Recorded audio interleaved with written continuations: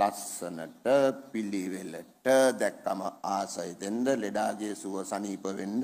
එහෙම තියෙන්න බෑ මූණු ශරීර. ඇත්තටම ඕගොල්ලෝ ජිම් එකකට යන්න ඕන හරිනම් හැමදාම. හැම හෙදියකටම. හරිනම් ආයතනෙන් නීතියක් පනවන්න ඕන හැමෝම ජිම් එකට යන්න ඕන කියලා දිනපතා. මම ওই රෝහලේ නම් ඉන්නේ. මම වෛද්‍යවරයෙක් කරි ලොක්ෙක් කරි මම දැන් පිරිමියෙක්නේ. පිරිමි පිරිමි හැක් කියලා එකක් තියෙනවා කියලා කියමුකෝ එහෙම තියෙනවද මං නම් කැමති නර්ස්ලා ටික ඔක්කොම සිහි නිග පුළු ලුකුල පිරුණු ලැම අර තාලෙට. හොඳ නැද්ද? හොඳ නැහැ කියනවනේ උම්මහ මේ ලෝකේ තියන්න ඕනේ උන් නෙමෙයි. එහෙම තියන්න ඕනේ උන් නෙමෙයි එහෙනම්.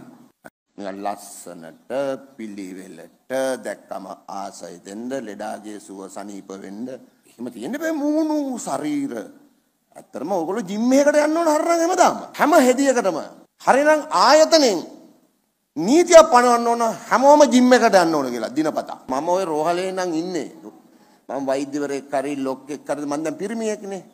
පිරිමි පිරිමි හැක් කියලා එකක් තියෙනවා කියලා කියමුකෝ එහෙම තියෙනවද? මං නම් කැමති නර්ස්ලා ටික ඔක්කොම සිහි නිග පුළු ලුකුල පිරුණු ලැම අර තාලෙට හොඳ නැද්ද? හොඳ නැහැ කියනවනේ උම්මහ මේ ලෝකේ තියන්න ඕනේ උන් නෙමෙයි.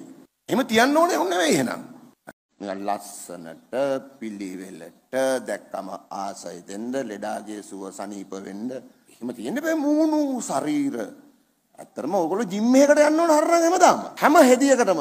හරිනම් ආයතනෙන් නීතියක් පනවන්න ඕන හැමෝම ජිම් එකට යන්න ඕන කියලා දිනපතා. මම ওই රෝහලේ නම් ඉන්නේ. මම වෛද්‍යවරයෙක් කරි ලොක්ෙක් කරි මම දැන් පිරිමියෙක්නේ.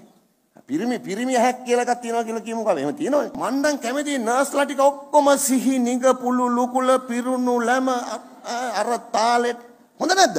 හොඳ නැහැ කියනවනේ උම්මහ මේ ලෝකේ තියන්න ඕනේ උන් නෙමෙයි. එහෙම තියන්න ඕනේ උන් නෙමෙයි එහෙනම්.